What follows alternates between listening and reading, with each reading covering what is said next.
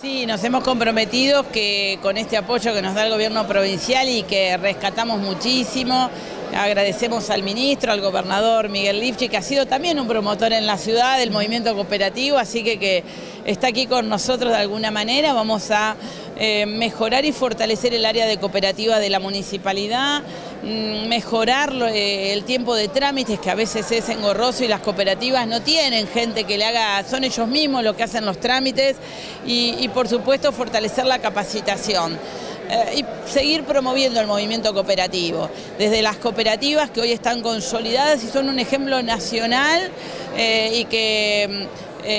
Santa Fe puede mostrar hasta la cooperativa de trabajo que seguramente se armó la semana pasada y que son hombres y mujeres que a través del movimiento cooperativo y acompañándolos encuentran la dignidad de su trabajo y también la compañía de otro cooperativista que junto a él están peleándola todos los días y eso consolida una economía más humana, que es lo que queremos promover, una economía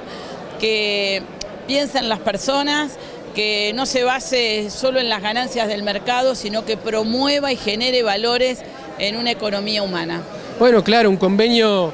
para nosotros importante que tiene por objetivo contribuir al fortalecimiento y a la capacitación y al desarrollo este, de las cooperativas de trabajo básicamente. Eh, eh, esto es fruto de un trabajo previo que el gobierno de la ciudad viene desarrollando fuertemente. Esta convocatoria testifica y, este, y muestra todo el trabajo que la ciudad viene desarrollando en el marco de las cooperativas de trabajo, con lo cual a nosotros nos facilita mucho esto. Con lo cual un reconocimiento al gobierno de Rosario, a la intendenta Mónica Fein y a toda esta organización y a toda esta gente que, que vienen a este tipo de actos con, el corazón por delante, ¿no? con mucha gratuidad, eh, a veces a buscar nada, ¿no? Es a, dar más que a buscar. Y eso es lo que nosotros ponemos en valor y por eso está este trabajo que estamos desarrollando. Nuestro compromiso es apoyar, seguir apoyando lo que el gobierno de la ciudad muy bien viene desarrollando en este punto y el anhelo, el sueño de que las cooperativas de trabajo eh, puedan constituirse como un sujeto alternativo, económico,